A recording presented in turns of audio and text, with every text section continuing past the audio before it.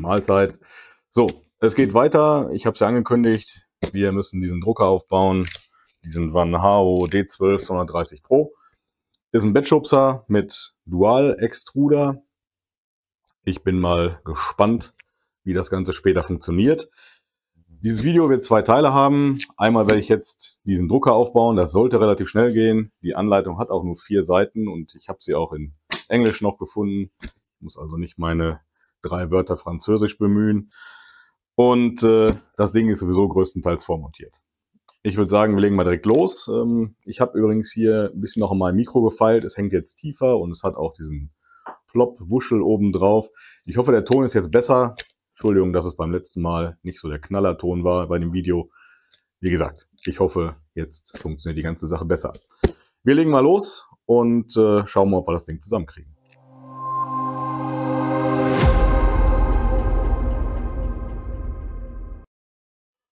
Ja, ähm, bevor wir jetzt loslegen, habe ich erstmal unten die Klappe aufgemacht.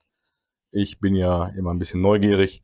Fakt ist, hier ist ein MKS Robin Nano 3.2 drin hat einen 407er Controller, das heißt, müsste sich ganz gut auch auf Clipper flashen lassen. Ich muss mir mal das Board angucken, was da genau drauf ist.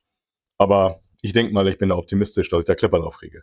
Was mir schon nicht gefällt, ist, dass hier mit Heißkleber die ganzen Kabel irgendwie gesichert wurden. Sowas mag ich überhaupt nicht. Weil warum rasten denn die Kabel ein? Warum muss man da Kleber dran machen? Vor allen Dingen hier bei den Stromkabeln. Totaler Unsinn. Aber gut, es ist wie es ist.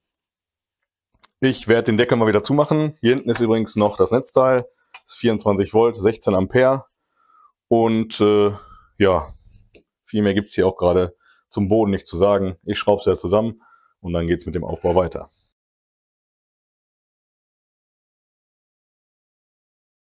So, ist wieder zusammen.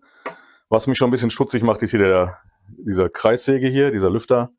Ich fürchte, das wird ziemlich laut, aber wir werden es später hören. So, in der Anleitung geht jetzt los. Man soll alle Teile auf dem Bautisch verteilen. Kann ich nicht, so viel Platz habe ich nicht. Also auch da kann ich mich leider nicht an die Anleitung halten. Nächster Schritt ist, den ganzen Kram hier entfernen. Hier sind so Protektoren drin. Komm, raus. So, weg damit. Damit müsste das alles sein.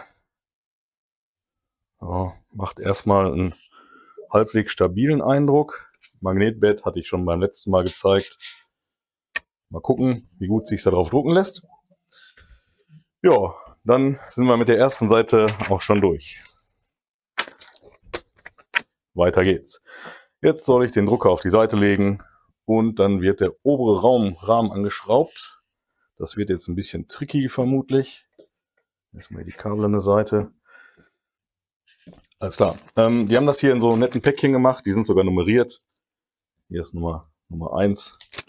Und äh, da brauchen wir jetzt einfach die M5 x 40. Gibt's vier Stück. Die halten halt oben den Rahmen gleich fest. Und äh, Werkzeug liegt netterweise auch dabei. Das finde ich auch gar nicht so schlecht. Hat sogar Kugelköpfe vorne. Also gar nicht mal so übel. So, hier haben wir das gute Stück. Und der soll jetzt irgendwie so hier drauf.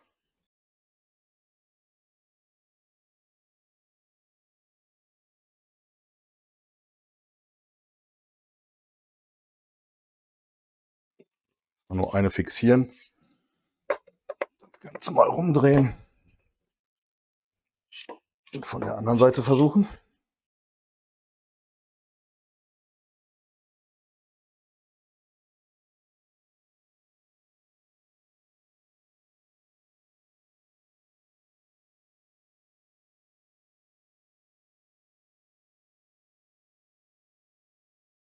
Und dann hätten wir auch schon unseren Drucker halb zusammen. Und das rollt hier irgendwie schon sehr ruckelig. Weiß nicht, ob das so muss. Fühlt sich aber irgendwie schon falsch an. Aber gut, schauen wir jetzt mal weiter. Schritt 4. Install the printing head onto the gantry to lock. So, wir brauchen nochmal diese Schrauben hier. Damit ist der erste Beutel dann auch durch. Und das wird vermutlich der hier sein. Und wir brauchen den Druckkopf.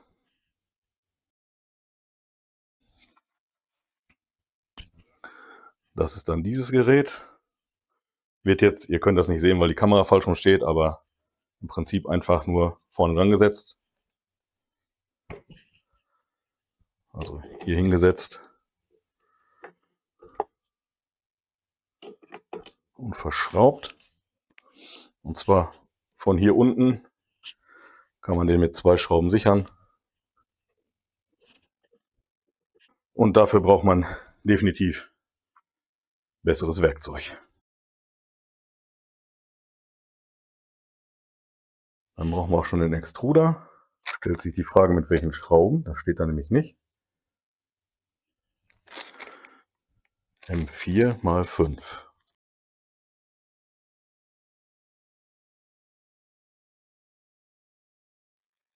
Ich würde ja vermuten, es sind die hier, weil das auch Teile vom Extruder sind. So, und den möchten Sie jetzt gerne nahe der Z-Achsen.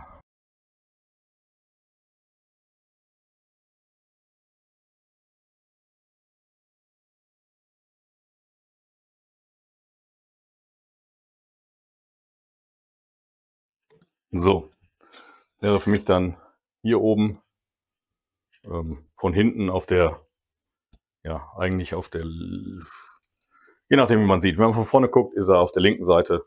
Von hinten geguckt, ist er rechts. Und theoretisch muss hier wahrscheinlich auch direkt das Kabel dran. Das hätten wir auch. Weiter geht's. Jetzt müssen wir den Filamenthalter installieren. Das ist dann wohl dieses Gerät hier.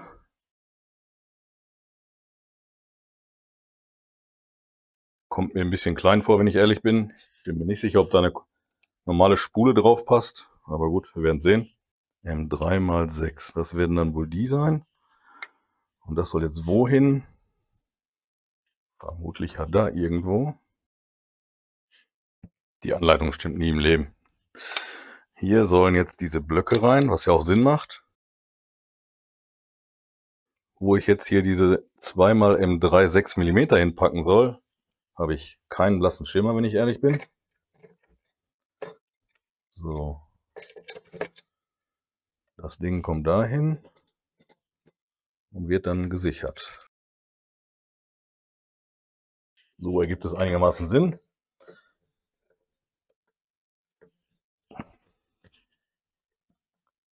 Und der muss ungefähr so. So. Das wäre auch. Dann wären wir bei Schritt 9. Das ist der Filamentsensor. So, jetzt wird's wieder spannend. Okay. langsam wird ein Schuh draus. Also das soll dann wohl so hier hin. Interessante Technik, dass ich das hier so bewegen kann. Hm. Weiß ich noch nicht, was ich davon halten soll. Okay, haben wir. Dann Twist X, Bell, Tension, Adjust, war das Teil. So, jetzt soll man hier die,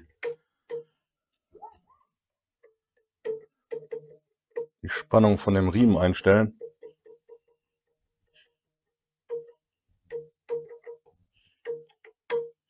Sieht für mich erstmal gut aus. Muss man später nochmal beim Drucken gucken, ob das so passt. Und das gleiche müssen wir hier noch machen.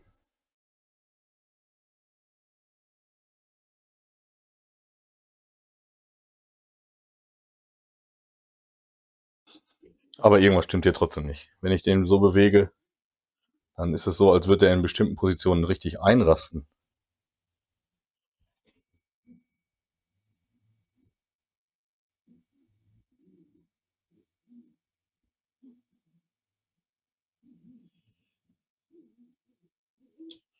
Das ist genau immer nach einer Umdrehung. Ich habe die Vermutung, dass da eventuell Räder kaputt sind.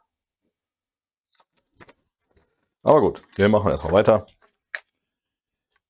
Und wir sind, glaube ich, schon durch. Es geht ums Verkabeln. So, dann müssen wir eigentlich nur die entsprechenden Buchstaben immer miteinander verbinden. Hier habe ich gerade ein F auf F. Hier habe ich E mit E.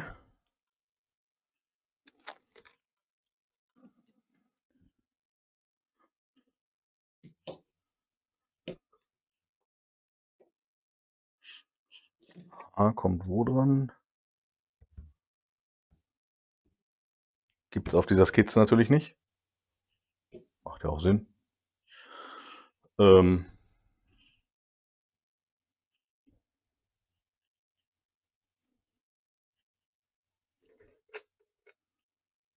ich habe gerade keine Idee. Warten wir mal ab. Das ist auf jeden Fall hier irgendwie für den Druckkopf. Mal gucken, wie man das Kabel später am sinnvollsten hier rumleitet. So, was haben wir hier noch?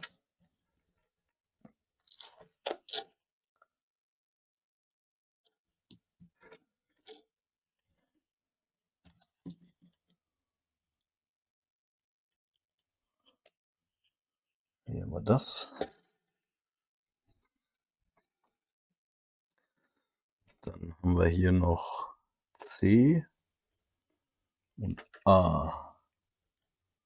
Das ist A. Okay. Und das müsste dann für den Motor sein. Das passt auch soweit. So, jetzt habe ich hier noch D. Dora kommt hier hinten hin. Ah, das ist der Sensor. Ah, jetzt wird ein Schuh draus. Dann ist es auch das gleiche wie H. Und das kommt hier irgendwo an den Sensor.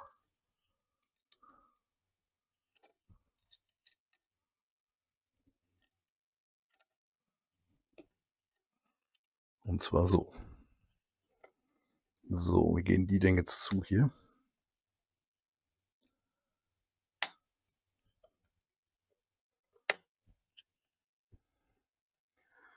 Gut. Das hätten wir, das hätten wir. Den haben wir auch verkabelt. Das ist für den zweiten Motor oben. Hier haben wir noch das Kabel für den zweiten Extruder beziehungsweise für den zweiten Sensor dann.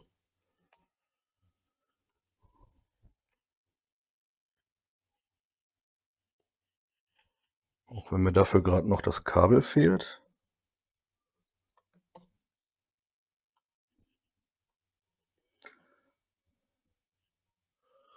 Aber wir schauen mal. Gut, das wäre durch. Und dann gibt es hier noch in case you have a second extruder. Extruder. Habe ich natürlich. So, das heißt,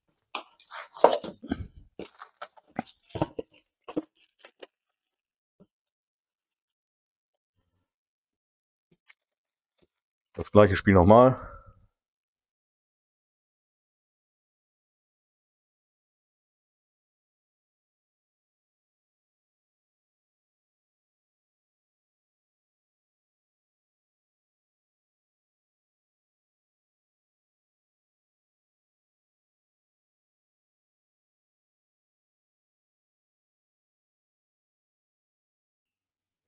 Achso, der Extruder ist auch verkabelt. Das war das Kabel, was hier oben rauskam. Achso, das könnt ihr wieder nicht sehen. Ich leg's gleich mal auf die Seite und zeig mal alles nochmal rum. Ist jetzt beim Bauen ein bisschen blöd, weil das hier oben so hoch ist.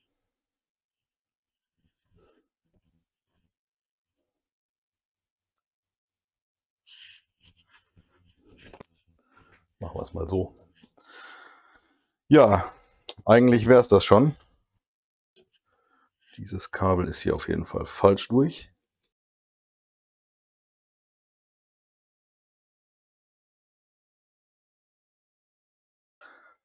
Der letzte Schritt ist dann, wir müssen noch hier die Leuche installieren.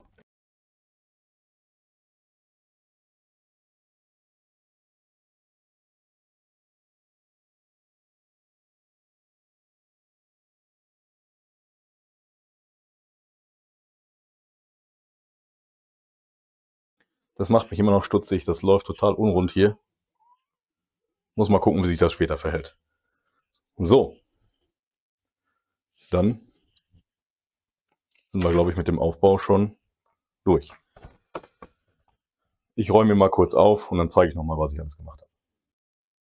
Ja, das wär's soweit. Er ist zusammengebaut. Im Grunde geht's wirklich relativ zügig und es ist auch nicht sonderlich kompliziert. Allerdings sind manche Bilder in der Anleitung verwirrend. Und auch manche Schraubenbezeichnungen waren, glaube ich, nicht so ganz, wie sie sein sollen. Sei es drum. Ähm, drehen mal kurz. Also hier, das ist ein bisschen merkwürdig beschrieben mit den Filamentsensoren. Aber gut, die hängen halt hier oben mit drauf. Und hier unten wird es mit M4-Schrauben festgeschraubt. Da steht in Anleitung M3. Hm. Nun gut. Ähm, ja, hier mache ich jetzt noch so ein Kabelbinder dran, aber eigentlich war es das. Halt noch ein bisschen Elektronik verkabeln, aber das ist auch nur Zusammenstecken. Hier sind überall, ich weiß nicht, ob man das sieht, sind so äh, Buchstaben dran. Also ist wirklich für, für Dumme gemacht. Kriegt man also wirklich in fünf Minuten verkabelt. Ähm, den zweiten Extruder hier oben verkabeln und anbringen ist jetzt auch kein Hexenwerk. Ich bin tatsächlich gespannt, wie das dann später funktioniert. Weil hier ist ja 2 in 1 als Hotend und da bin ich wirklich gespannt, wie das ähm, ja, sich verhält. Wo ich ein bisschen am gucken bin immer noch, ist hier, wie der Kopf auf der X-Achse fährt. Das ist mir irgendwie zu ruckelig. Ich weiß nicht, ob man das auf dem Video sieht, aber wenn ich das hier schiebe, der rastet hier richtig ein. Hier auch. Und hier auch. Als hätte der irgendwo einen Schlag oben in den in diesen Laufrädern. Ich habe Gott sei Dank noch zwei Ersatz. Ich werde die mal off-Kamera, glaube ich, tauschen und mal gucken, ob ich das irgendwie beseitigt kriege. Ja, ansonsten gibt's nicht viel zu sagen. Ähm, es ist tatsächlich nur den Rahmen anschrauben, Extruder dran, die Halterungen hier fürs Filament dran, die Sensoren anschrauben, verkabeln und das war's. Also vom Aufbau her kann man es fast nicht einfacher machen. Der größte Teil ist vormontiert. Alles easy. So, bleibt nur noch das ganze Ding jetzt zum ersten Mal einzuschalten und mal gucken, ob sich überhaupt irgendwas bewegt. Und äh, dann geht's später weiter mit dem ersten Testdruck und auch mit dem letzten Testdruck, den dieses Gerät ohne Clipper tut. Denn äh, ein Drucker ohne Clipper ist ja wie ein Mann ohne Bauch oder so. Weiß auch nicht. Äh, geht nicht. So, ähm, wir schalten mal ein. Laut ist er schon mal. Den Lüfter hört man auch. Der Lüfter ist ganz schlimm.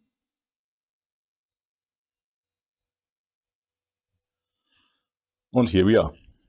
So, jetzt muss ich mich mal ein bisschen ins Bild mogeln, denn ich sehe sonst gar nichts. Tool. Ähm, Ich versuche mal X zu home. Das hat schon mal funktioniert. Das ist toll. Jetzt versuche ich noch Y. Und Z spare ich mir jetzt, denn ich will mir nicht die Nozzle ins Bett rammen. Denn ich muss erstmal noch das Bett einstellen. Das mache ich aber jetzt nicht hier. Ich würde sagen, grundsätzlich geht hier schon mal was. Wir können noch mal kurz äh, gucken, ob das auch heizt. So, das Bett sollte irgendwie auf 75 Grad kommen. Also die Oberfläche ist nicht meins.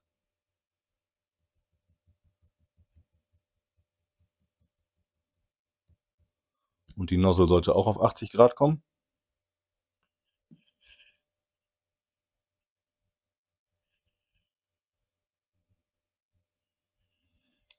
Bett bei 26. Es wird warm, ja.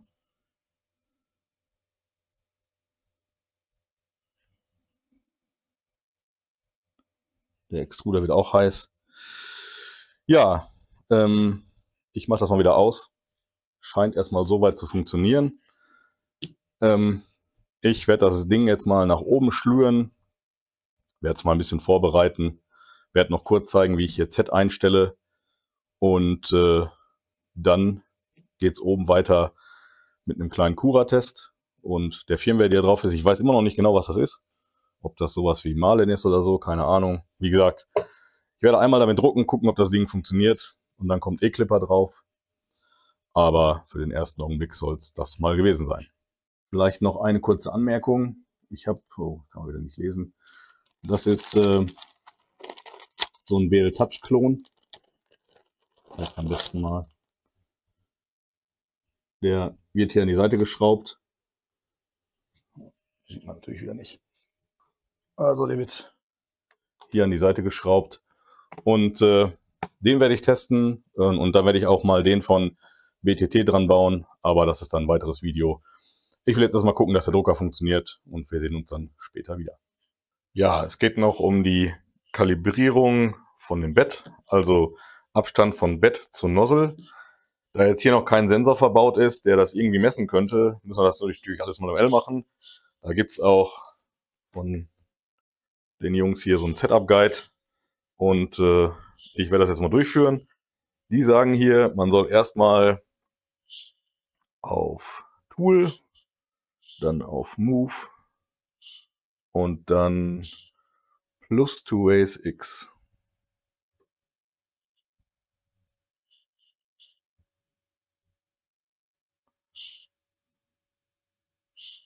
Z natürlich, Entschuldigung. So. Das haben wir hingekriegt. Wir können hier überall hin und jetzt soll man das Ding wieder ausschalten. Jetzt soll man die äh, Rändelschrauben hier unten, diese großen, ähm, so einstellen, dass das Bett möglichst tief ist.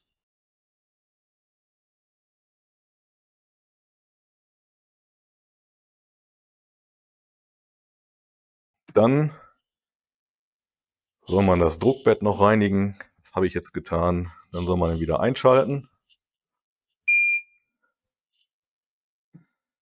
Press Tool Home All. Schauen wir mal. Ich hoffe nicht, dass der Kopf jetzt ins Bett fährt. Ich hatte nämlich kein anderes. Home. All.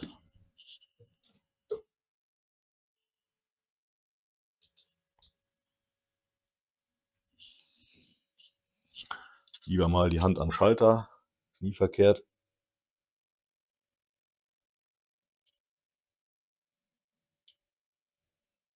Okay, hier ist noch ein ZN-Schalter.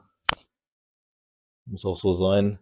Ja, und wir haben jetzt hier eben äh, einen gewissen Abstand. Und hier schreiben sie jetzt, man soll den Drucker wieder ausschalten. Und äh, soll das jetzt so einstellen, dass mit diesem Gauge, das ist im Prinzip äh, Blattstärke, dass man das da drunter legt dreht an der Schraube.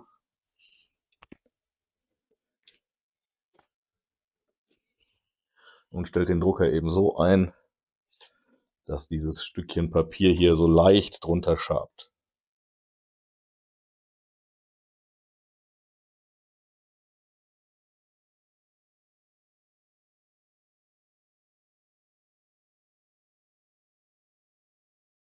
So, jetzt schabt es so ein bisschen.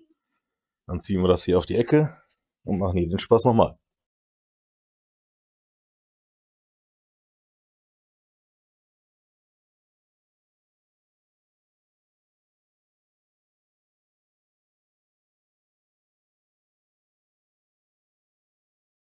Dann das Bett nach vorne und das Ganze auch hinten machen.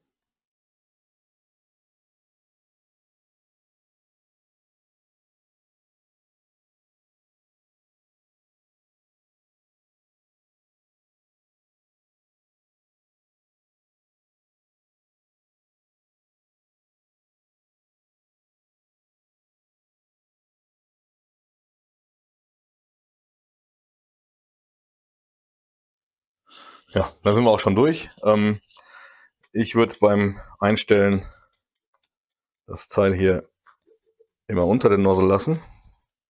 Also so verfahren, sonst kann man sich nämlich leicht diesen Nozzle ins Bett reinreiben, wenn das doch schon zu hoch ist. Ähm, man muss auch ein paar Mal nachjustieren, bis es dann passt. Aber wenn es dann einigermaßen eingestellt ist, soll das wohl gehen. Damit hätten wir eigentlich die ganze Kalibriererei für diesen Drucker abgeschlossen. Viel mehr wollen die gar nicht tun. Was mir hier dran nicht gefällt, ist, dass man das im kalten Zustand macht. Ähm, macht eigentlich keinen richtigen Sinn, weil wenn ich das Ding gleich aufheize, dann verstellt es sich womöglich wieder. Aber das Bett darf eh nur bis maximal 70 Grad. Und bei PLA werde ich wohl auch nicht ganz so hoch gehen. Aber gut, ähm, wir lassen das erstmal so. Ich transportiere den Drucker jetzt nach oben und werde dann mal schauen, ob ich mit Cura hier einen Ausdruck hinkriege. Und dann wäre es das für dieses Video. So, der Drucker druckt inzwischen. Ähm, und ich habe es auch irgendwie geschafft, hier so einen Würfel reinzukriegen und den zu slicen. Aber diese Cura-Version, die da beigelegt wurde, ich weiß gar nicht, wie alt die ist. Sie sieht jedenfalls aus, als wäre sie aus den 90ern, wenn ich mir die Müs angucke. Und die Bedienung, da will ich jetzt mal gar nichts zu sagen. Ähm, ich finde es eine Katastrophe und ich bin froh, wenn ich demnächst wieder Orca nehmen kann und kann dann auf den Drucker mit Orca drucken.